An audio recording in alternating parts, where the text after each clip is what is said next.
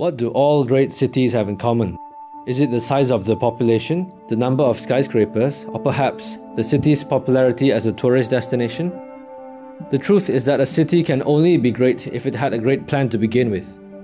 According to Malaysian architect Lawrence Law, all great cities have great plans. But in the case of Kuala Lumpur, it has never been implemented. This resulted in a city plagued with numerous issues which could have been avoided with proper urban planning.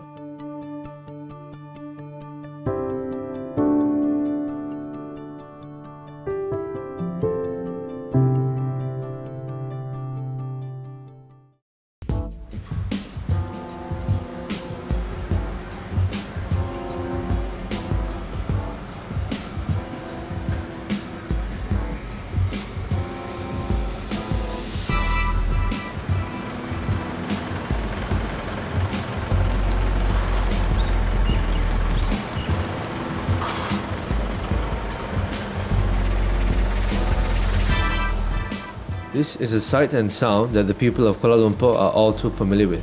Especially on weekdays, being stuck behind the wheel is something that is a given in KL. Unfortunately, congestion is something that the people have come to accept as a normal, everyday occurrence. But why?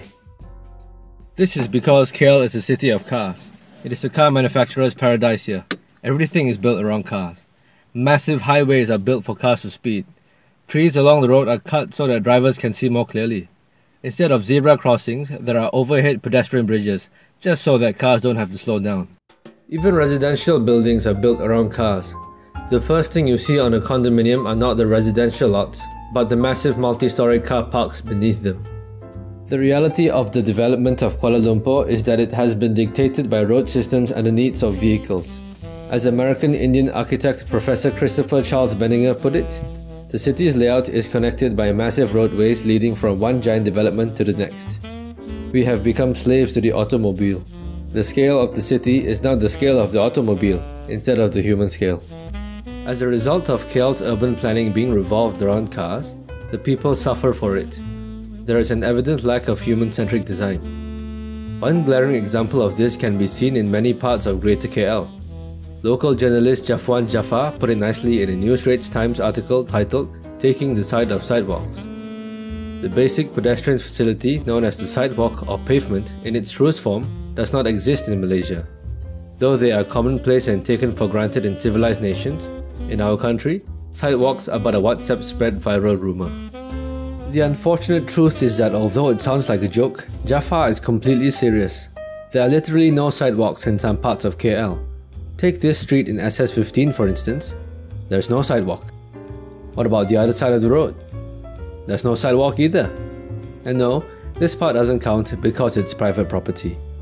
The fact that this street does not have any sidewalks is alarming because it is one of the most used streets in SS15, or maybe even the entirety of Subang Jaya. Taylor's College and Inti College are both located on it, meaning that hundreds, if not thousands of students walk on it every day, yet there isn't complete sidewalk coverage. The lack of sidewalks is but one glaring issue of KL's urban planning however. Ironically, despite the great focus on cars of the urban development of KL, there are still serious issues related to vehicular infrastructure. For one, parking is and always has been a monumental issue in Kuala Lumpur. In certain parts of the city, parking can seem impossible due to the lack of parking space or exorbitant prices. This explains the widespread phenomenon of double parking, and sometimes even triple parking. One of the consequences of this relates to the previously mentioned lack of sidewalks. When drivers double park, it leaves very little space on the road for not only other road users, but pedestrians as well. Whenever there are double parked cars and there are no sidewalks, pedestrians will be displaced onto the road, where they will be forced to walk between cars, which is as dangerous as it is unpleasant. Double parking is so serious that Petronas even came up with an app that was supposed to help frustrated victims of it better deal with the issue.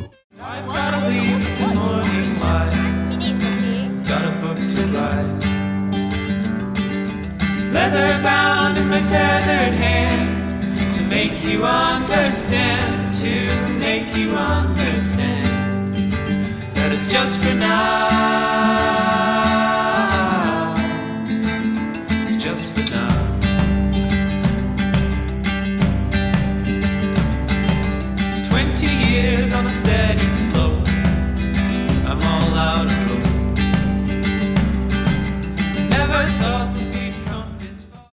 Sadly, the novel idea never took off as most people have never even heard of the app.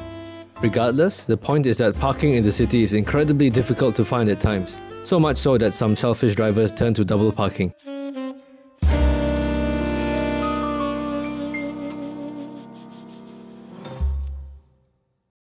However, not all drivers have such bad attitudes of course, as many people turn to other, more civilized solutions to beat the issue of lack of parking, such as public transport.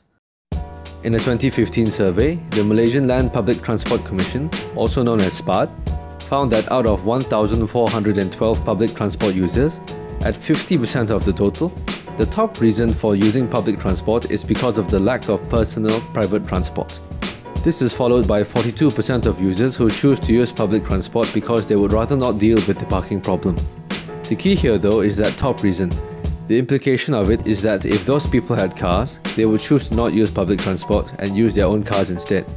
But what is wrong with the public transport of Kuala Lumpur?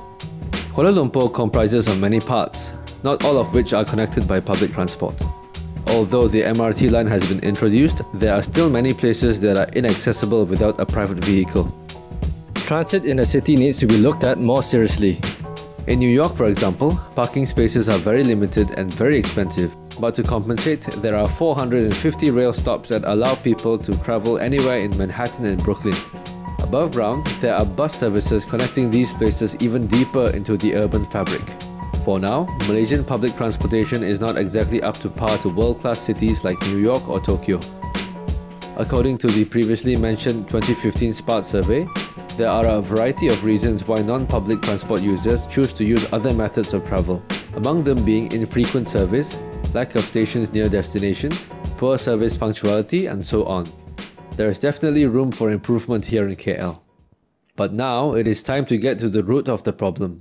Why are cars so deeply intertwined with Kuala Lumpur's urban development? What is the root cause of KL's seemingly perpetual congestion?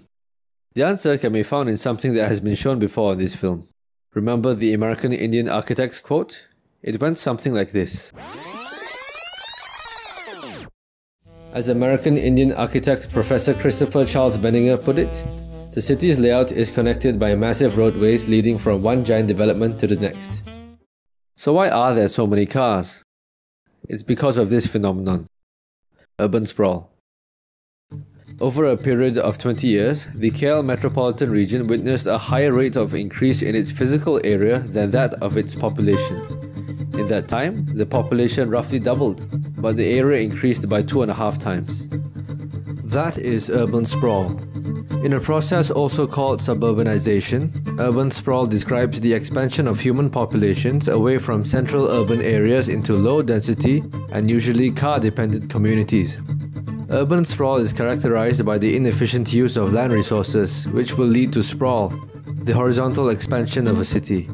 This can be seen when comparing two cities, Atlanta, the capital of the US state of Georgia, and Barcelona, the capital of Catalan in Spain. Almost the same amount of people live in each city, but the built-up area of Atlanta is about 26 times that of Barcelona. This is a prime example of sprawl versus compact development. Urban sprawl leads to lengthier commutes and high energy consumption for commuting. It makes public transport financially unfeasible, which results in an enormous increase in private car ownership. This leads to traffic congestion and increased pollution due to greater vehicular emissions. Hence, limiting urban sprawl is key to increasing the sustainability of a city. Fortunately, the blight of urban sprawl is widely recognized as a serious issue by the professionals and academics who are charged with urban development in Malaysia. They seem enthusiastic in its embrace of the goal of making Kuala Lumpur a world-class city. In that spirit, Greater KL has been selected as one of the 12 national key economic areas. However, there is a pressing need to enhance coordination between federal, state and local planning authorities to ensure the effective implementation of policies at the local level. But if the above mentioned strategies are implemented successfully, Malaysia will be kept on its chosen path. Malaysia will be elevated to its rightful place among the developed nations, helping Kuala Lumpur evolve into a world-class city and paving the path for other compact and sustainable Malaysian cities.